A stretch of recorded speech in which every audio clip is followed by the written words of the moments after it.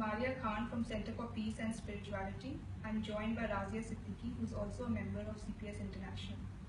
Today we'll be discussing this book, Quranic Wisdom, by Maulana Wahiduddin Khan.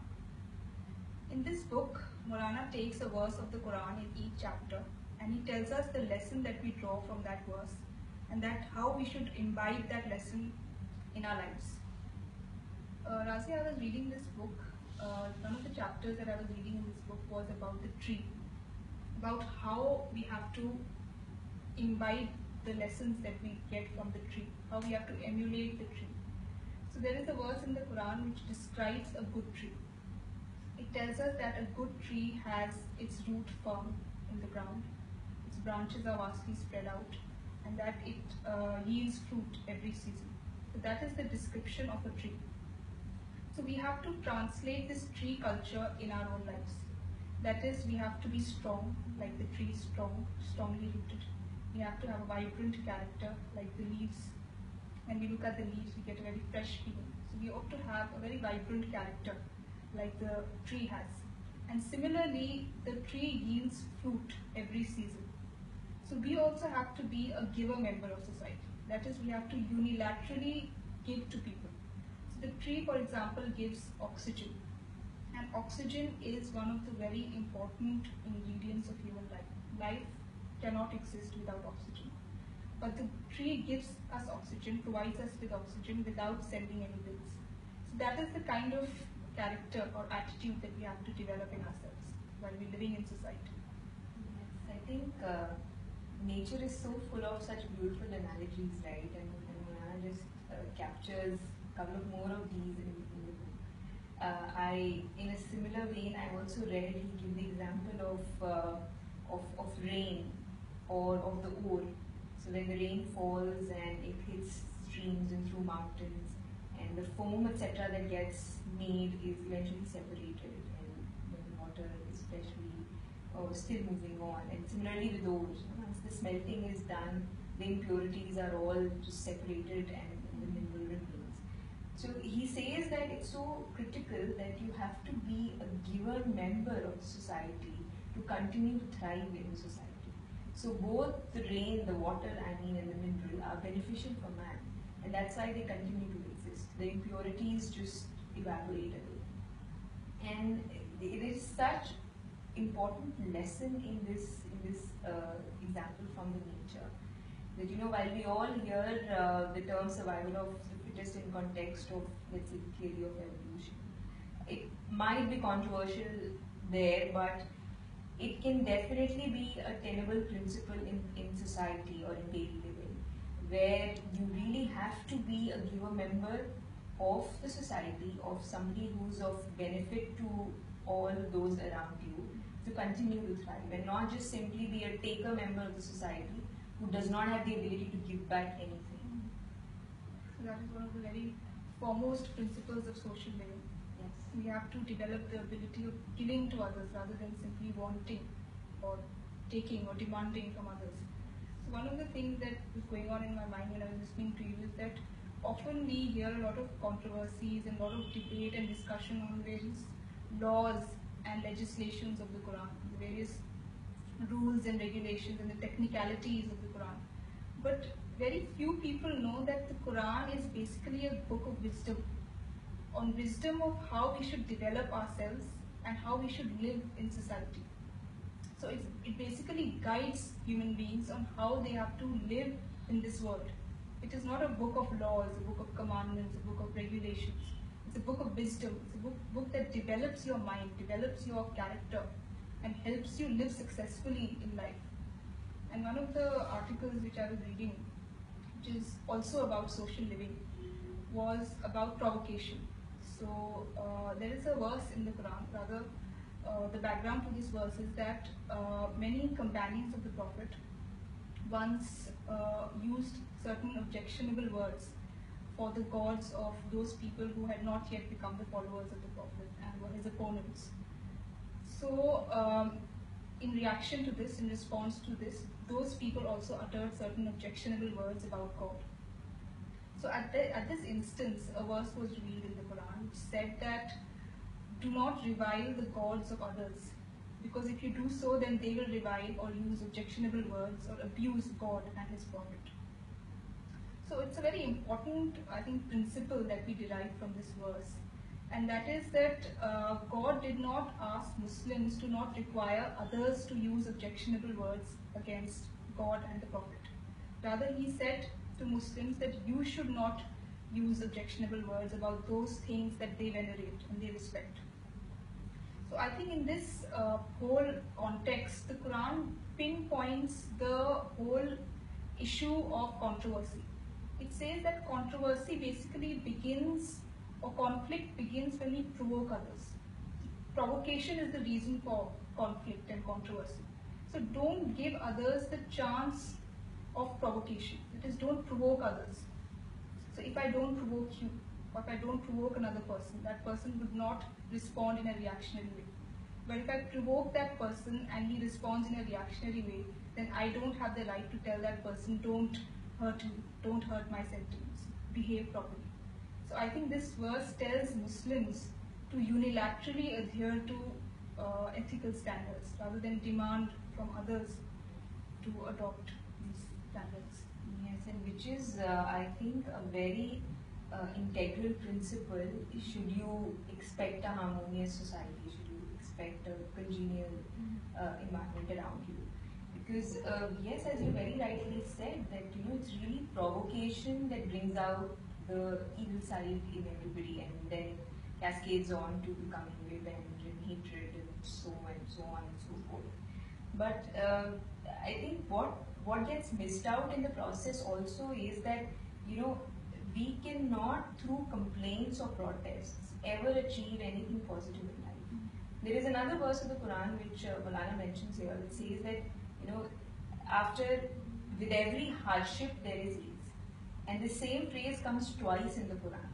And uh, he interprets it and says that you know the reason why the Quran pays such emphasis on the word ease is because with every trouble or with every um, you know seemingly difficult situation that we face in life, there are also numerous opportunities that coexist. It is upon us to figure out those opportunities and to to avail them. But somebody who is only stuck in in confrontation or reacting to a provocation, etc., etc., will never be able to see those opportunities even if it might be right there glaring in front of him. So it's so important that you know we believe with absolute conviction that there is a way out. There are opportunities out there which we can definitely avail. World has not come to an end, and and just go out and avail it with with a positive sentiment instead of continuing to think you know how to retaliate, how to uh, harm the other person, or just continue delving in negative in negative thoughts which is very harmful for our overall personality and also for any opportunity that, that we might just absolutely not be able to. Mm. So we should ignore the problems and avail of the opportunities. Yes. So apart from social life, apart from living with others, there are also a lot of principles that the Quran gives us about individual life, about how to reform our individual life, about what should we do uh, in terms of the purpose that we have to set for ourselves. So there is a verse, and often we people, uh, for example, gain a lot of material achievement and prosperity, but still we see that uh, we are not contented. We are stressed out, or we are tensed, or we feel that there is some kind of a vacuum or a void, and we feel uh, restless. So the Quran says in this particular uh, context that only in the remembrance of God can hearts find comfort. That is, comfort or solace or peace of mind is only when we remember God. So, uh, this verse tells us, and Maulana explains or interprets this verse by saying that remembrance of God does not mean reciting the word God reciting the word Allah. Remembrance of God means to discover the creation plan of God for this world the laws of nature that God has set for this world and to adjust ourselves with those laws of nature. And then Maulana says that one of the very important uh, uh, characteristics or traits of this world is that this world is limited.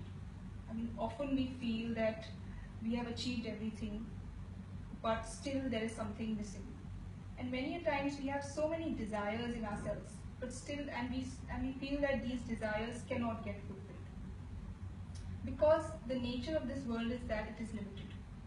So our desires do not get fulfilled, material desires or other such desires. So the Maulana says that this particular verse of the Quran tells us that we have to understand this law of nature, this this this way the world has been built, that it is limited physically and materially. So what we have to do is that we don't have to set a physical or a material goal for ourselves. We have to set an intellectual goal for ourselves. Because we all see, I mean we all experience in something which scientists and physicists and mathematicians have experienced on a much larger and a much deeper level, that the world of thought is absolutely unlimited. So we have to keep the intellectual goal before ourselves. I mean, materially, we have to be contented with what is our basic need. We should not make the material uh, objective. For example, gaining material prosperity and fame, etc. That should not be our goal. We should be contented as far as life is concerned, the material life is concerned, the physical life is concerned. And we should set for ourselves the intellectual goal. So there is there was a physicist called John Wheeler who said something to the effect that if you haven't discovered something new, then your day has been has been wasted. So you know, so we have to at the level of thought discover new things, and that is what will satisfy us. If we set material goal for us, even after fulfillment, we won't be happy. Yes, and I think that's what happens, right? I mean, people reach, they aspire to reach a certain level in life, and then they reach that level, and then now what? And then now what? And then now what continues for, uh, you know, Ad infinitum. Absolutely. Ad infinitum and it kind of continues. The client continues but satisfaction never comes in. That that feeling of solace never comes in. And uh, it's such an incredible idea you know when you were saying that the world of thought is unlimited i almost had goosebumps. Because indeed you know when you realize that the world of thought is unlimited and what potentially we can do with the mind that we've been bestowed with it's a completely fascinating idea. But I think a lot of times people think that the moment you're talking about uh, intellectual development or living at such a high plane, you probably have to just forego everything and you know relinquish all the material aspects that you have in life and just move away to forests and mountains and you know, just make peace with with that. But uh, I think that is such an underestimation of ourselves as human beings and our capability to discern and understand things despite being in, a, in, a, in, in the environment that we exist in. Because uh, it should not be that we, you know, we live in an environment and we are not able to draw out lessons from it. I think that's the gist. We should become such a mind that we are able to extract those deep spiritual lessons from everything that happens around us. I mean, there is so much. If from the time we wake up in the day, the sun, the air, the plants, the trees that you were taking the example of, everything that we see around us, and even our bodies, right? Every aspect of our existence, there is so much to learn, there's so much to extract lessons from, everything. But we seldom care about it, right? We have a very, um, normally we have a very casual attitude to all of this because we've seen it from the day we are born, so we take it for granted. And it is that sense of taking it for granted which completely refrains our capacity mentally to draw any special lessons out of it. I mean, if, if somebody from, let's say, another planet, should there be an alien being, was to come here and see, uh, you know, let's say they never have a sun and we have a sun rising, or to see the human beings in the form that they are, they would be fascinated. But we see each other every day and there's no longer any fascination to the ears and the eyes and the beautiful way of speech that, that human beings have been uh, endowed with. But I think high thinking also means that we have to live at a plane where we have high ideals. You know, so Maulana also gives another uh, extremely gripping example, and he says that uh, let's take the air for instance. It flows regardless. It does not get into any form of confrontation. It just keeps flowing endlessly, and that's what a high thinker has to be like, because he or she does not have to get into any confrontation or any conflict because that would waste away his energy, that would waste away his time. he has to just be relentlessly pursuing the goal of developing himself as a human being as he as he was in life. I think that is so important, and he should just overlook all problems and only focus on the opportunities of development that he has to grow intellectually as human. It's a very important point. And I was very fascinated by your example of the alien. You said that when, if an alien being, if ever it exists, would come on Earth, it would be very amazed to see human beings, intelligent human beings, and all the life support system that we have around us. So you were saying that uh, we human beings are not fascinated as an alien would be fascinated because we do not think, we do not reflect. So another very important point that comes from here is that the Quran gives a lot of emphasis on thinking, on pondering, on contemplation and reflection. So very often when you open the Quran and read it, very often the Quran says, do you not reflect? Do you not understand? Do you not ponder? Do you not think? So uh, one of the articles which Maulana has uh, talked about in this book is that the Quran wants to develop in its reader the quality of thinking, wants to inculcate the quality of uh, contemplation. And the reason is that, uh, as Jesus Christ said, that there are, that man cannot live by bread alone.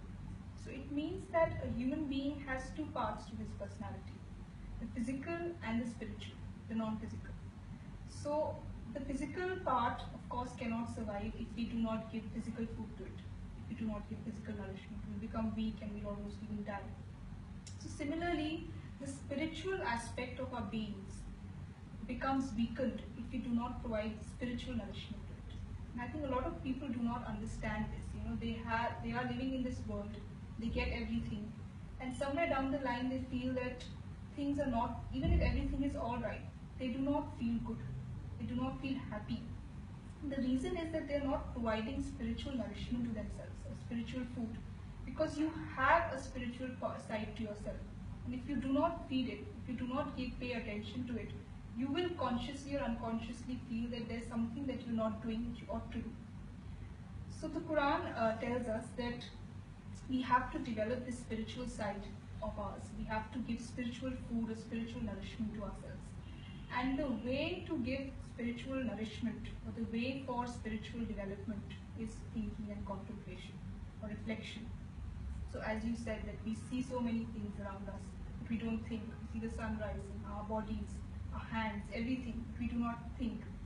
So Maulana has said in this book that we have to really reflect and go deep into this, into whatever we see, whatever we observe, whatever we read, or if we you know, come across a historical remnant, we have to penetrate deep into what lesson we can draw from that. And the derivation of that lesson is a kind of a spiritual food for us. So he said that only human beings have this ability of deriving lessons from what they see, meaningful lessons from their observation, from their reading, from whatever they experience. They have to draw meaningful intellectual, spiritual lessons. So he said that human beings are specially endowed with this quality of conceptual thought. An animal cannot do conceptual thinking. Only a human being can do for example, the Big Bang. The Big Bang happened 13.8 billion years ago. That is, the universe at that point in time was in a very highly dense and compressed and small uh, atom, a small dot. And then it exploded and everything that we see today came into existence. But nobody has seen the Big Bang. But how did scientists discover this Big Bang? It was through conceptual thinking. So Maulana says that why the Quran gives a lot of importance to thinking and contemplation is that we use this conceptual ability, the ability of conceptual thought that God has given us, and we give intellectual food to ourselves and spiritual food to ourselves. And that alone will make us feel that we are we are a complete human being. We are giving physical food to ourselves and spiritual food to ourselves. We are a whole. You know, I was saying this, I was uh, just having this idea in my mind that you know everybody is able to see a famished body, but nobody sees a famished you know inner personality, the one that is really devoid of any higher intellectual food that it really really wants, and it's like you completely kept it away from all forms of nourishment, and you expect to have in return satisfaction and solace and all other things which are akin to nourishment that a body would derive from food. Mm-hmm. But um, yeah, that's a very important point. And Maulana also mentions here that in order to uh, you know be able to extract these lessons, one has to be a prepared mind. So he gives another excellent analogy. He says that uh, you know, for example, we know trigger as a mechanical term, right? But uh, it is used to initiate firing. But before the firing happens, the gun has to be loaded, And an unloaded gun, regardless of how many times you throw the trigger, will be of no use. So he says that similarly, the mind has to be first prepared for us to be able to extract these deeper lessons, for us to be able to continue to contemplate and ponder. Of course, the beginning is that we should be a mind who's who's not just looking at things and passing over them. Somebody who is looking at things and trying to understand it at a deeper level. But um, also, it's so important to kind of relate this to the fact that uh, you know spirituality or inner solace is just not possible should we not do something like this. If we only continue to live at a material plane, we will never be able to derive that uh, satisfaction that we've been talking about. And he quotes another of uh, Christ's saying where uh, Jesus Christ has prayed to God, saying that, Give us our daily bread. Now, that daily bread, a lot of us would like to believe is the material bread, right? Or mm-hmm. maybe the food and all other material comforts that we have in life. But this does not end only at material comfort, you know, it is much beyond that. Daily bread is you know, as you were quoting the scientist who said that if you haven't discovered something new every day, the day the past has just gone waste. So similarly, that daily bread is that new lesson or the new learning that we derive every day in the in the life that we all lead, which enriches us as a human being, which takes our intellectual development to probably just that next level of uh, development. So the provision that Christ has spoken of is not physical provision, it is spiritual provision or intellectual provision. Yes. That is what keeps our mind alive.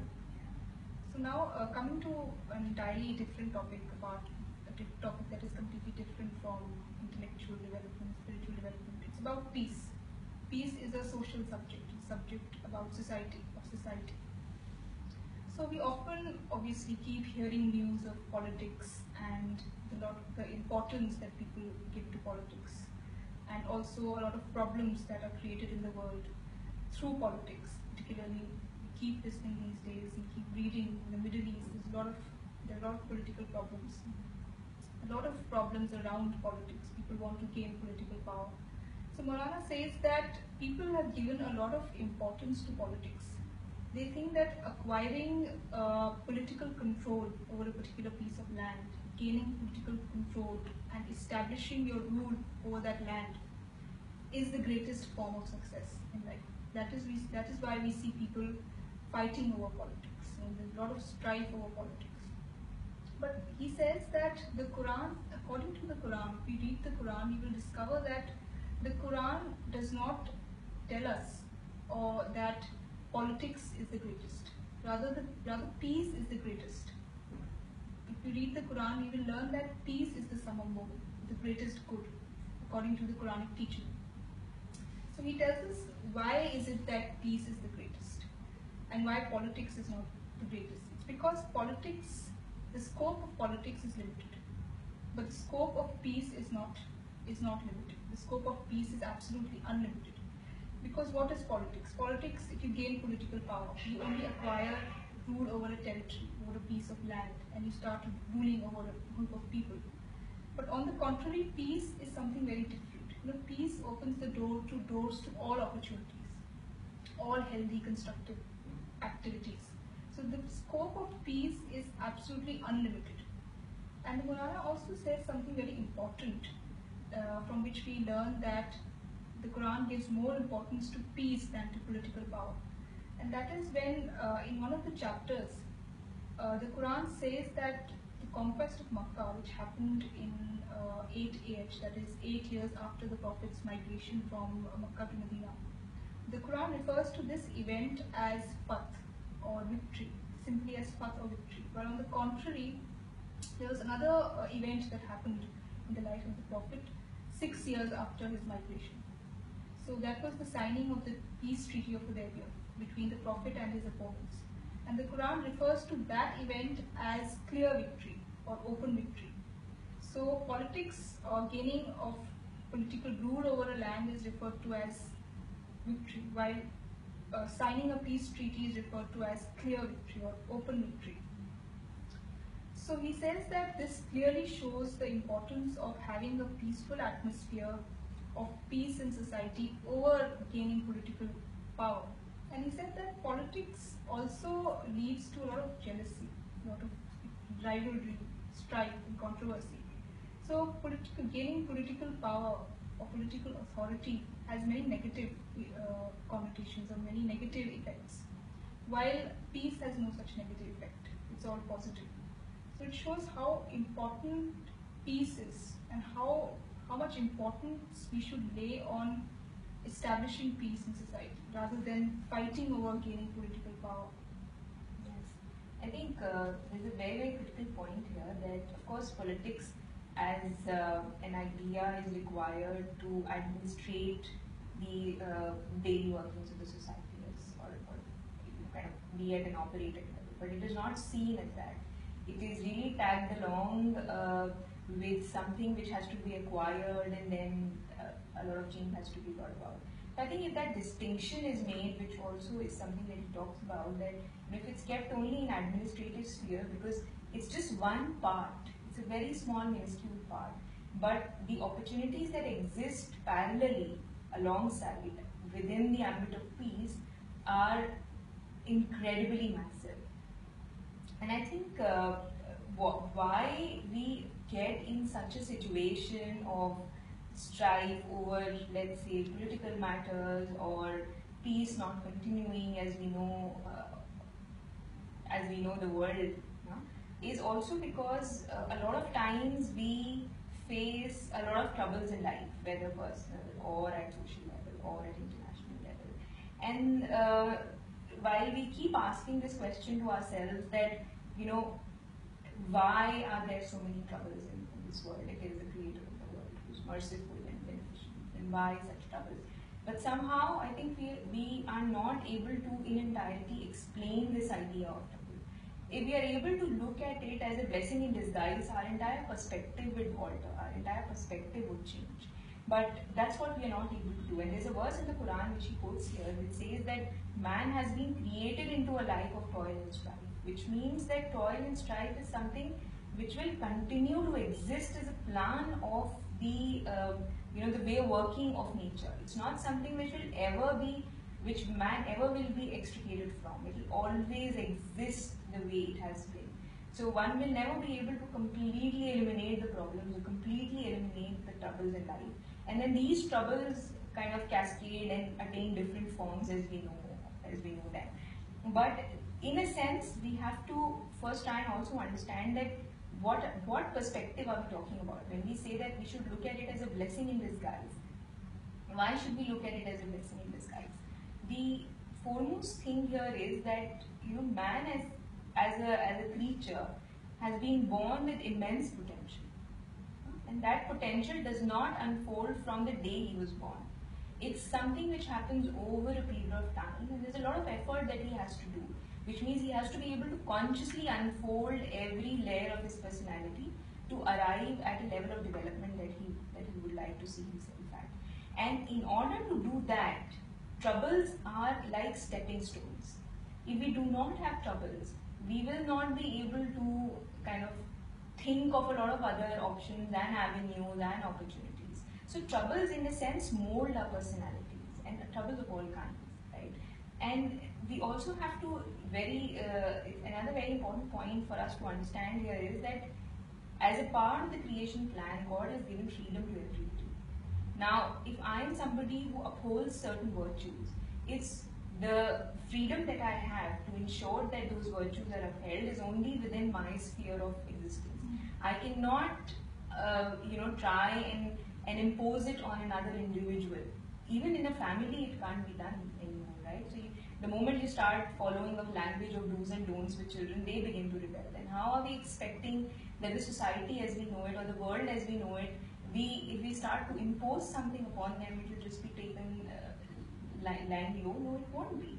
So the idea is that my freedom is restricted to my sphere, and that's where I should uphold these ideals and live as a giver and a contributory member to the society, and ensure that peace is something which, regardless of what I may have to do, is something that I'm able to uh, sustain and that will eventually, if, individuals arise at that level of uh, realization and then an amalgam of all such individuals, and eventually leads to a peaceful society and a peaceful nation eventually develops. We have to be ideal as far as our individual life is concerned. We have to uphold the ideal principles. But as far as social life is concerned, we have to be very pragmatic. We should not expect others also to abide by those same ideal principles.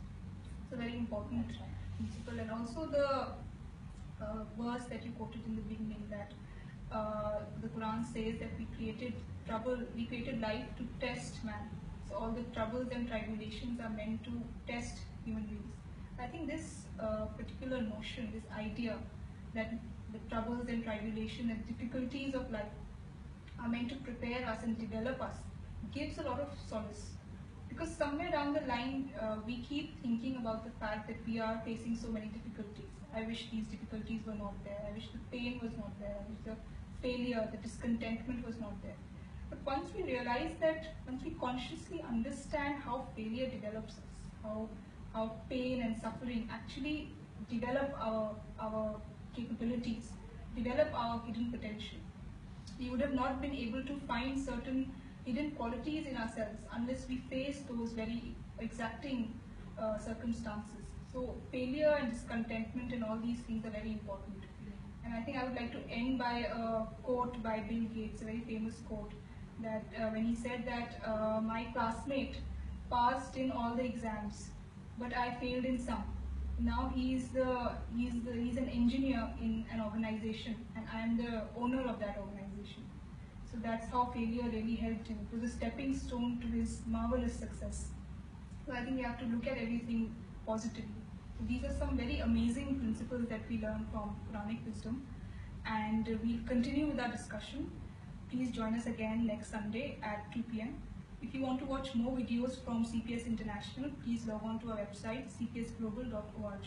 Thank you.